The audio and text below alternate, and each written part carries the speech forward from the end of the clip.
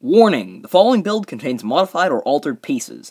Non-modified replacements can be found in the description below, as well as a tutorial on how to make said pieces. Enjoy the following video.